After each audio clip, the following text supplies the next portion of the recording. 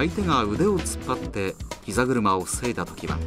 そのまま左足を戻して軸足にし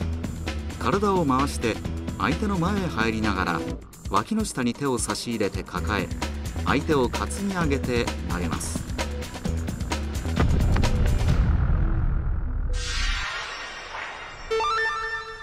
相手の両足が平行に揃った状態を利用して一本背負い投げに連絡します。